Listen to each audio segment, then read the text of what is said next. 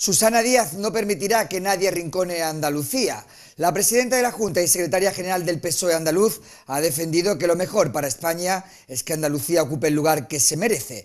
Palabras que ha pronunciado durante la intervención en el acto del PSOE de Andalucía para conmemorar el 28 de febrero, Día de la Comunidad. Y no entendemos jamás que para que Andalucía le vaya bien, a nadie le tenga que ir mal. Aquel 28 de febrero fue ese compromiso, pero fue algo también importante, que desde el 28 de febrero la Constitución española empezó a leerse con acento andaluz.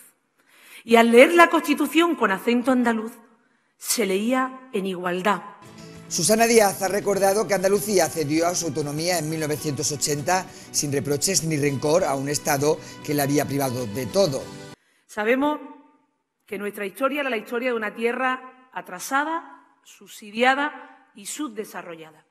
Pero en cambio, cuando alcanzamos la autonomía, cuando el 4 de diciembre miles de andaluces salieron a la calle, cuando el 28 de febrero volvieron a salir a la calle, nosotros no vivíamos nuestra autonomía como un reproche a España. Sabíamos que se nos había privado de todo, que éramos el granero, el latifundio donde algunos venían a descansar y a disfrutar, que se nos privaba de las oportunidades que tenían otros rincones de España. Pero el ser andaluz es tan generoso que aquel 28 de febrero, alcanzando la autonomía, no solo no reprochábamos nada a nuestro país, sino que hacíamos una promesa de libertad y de igualdad Queríamos ser libres para compartir la igualdad entre todos los ciudadanos en Andalucía, pero también en el resto de España. Por eso somos distintos los andaluces.